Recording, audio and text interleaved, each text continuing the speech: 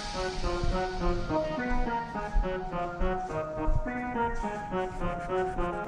you.